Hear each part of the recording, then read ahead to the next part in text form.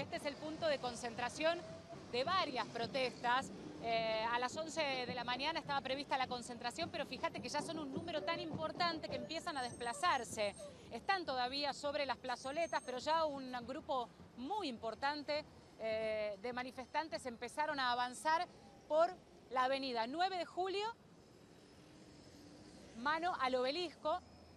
Te diría que son por lo menos dos a tres cuadras que empiezan ya a moverse mientras otro grupo está todavía apostado sobre la plazoleta del otro lado de Independencia. Les cuento un poco el tránsito, a ver cómo se está moviendo a esta hora en esta zona que está, bueno, súper poblada.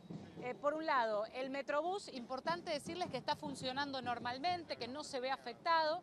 Claro, en los momentos en que se desplaza alguna columna justo cruzando, eh, allí tenés eh, una mínima demora, pero el tránsito en el Metrobús está circulando bien. La mano de 9 de julio que va hacia el lado de Constitución está funcionando bien también, está circulando. Y después lo que tenemos es la zona de Bernardo de Irigoyen, sí copada por manifestantes. Es decir, tenés los dos carriles de Bernardo de Irigoyen y tenés todos los carriles de la 9 de julio copada por manifestantes. Este es el grupo que va a ser el polentazo, el llamado polentazo frente a las oficinas del Fondo Monetario Internacional. Es decir, van a avanzar por Bernardo de Irigoyen, por 9 de julio, hasta llegar a donde harán su protesta en Paraguay y Cerrito, allí en una plazoleta que es la plazoleta Libertad. Así que les, les, quedan todavía varias cuadras. Esa es una de las movilizaciones. La otra concentración que también ocupa otra de, la, de los bulevares, digamos, sobre este, este mismo cruce de Independencia y 9 de Julio, son los que irán al Ministerio de Desarrollo Social, aquí más cerquita, y ahí eh, tenemos a las organizaciones que forman parte del Frente Piquetero, y cuya protesta está más vinculada a ser parte de las mesas de trabajo en esta transición, a denunciar que no se está cumpliendo con la ley de emergencia alimentaria. Bueno, son distintas cuestiones, todas atravesadas por la crisis económica, pero con focos distintos. Te digo que la mirada, la vista a lo largo de la 9 de julio, mira, vamos a cruzar ahora que nos permite el semáforo porque te permitiría ver que, por ejemplo, donde nosotros estamos parados, que es exactamente en el cruce de 9 de julio con Independencia, tenés tanto para un lado como para el otro una enorme columna de manifestantes. Yo te hablaba de eh, dos a tres cuadras, tres cuadras seguro, fíjate.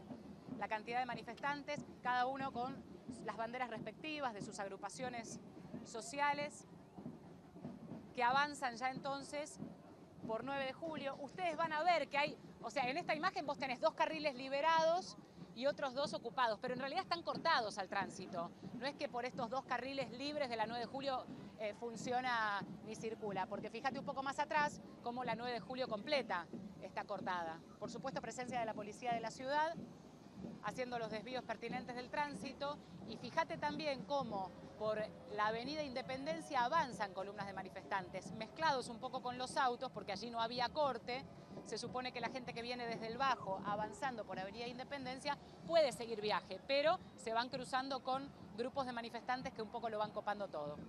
Vos nos contás qué estás pasando ahí, nosotros estamos viendo una imagen a la distancia, una imagen aérea del colapso de tránsito que hay en la 25 de mayo. Claro, claro, claro.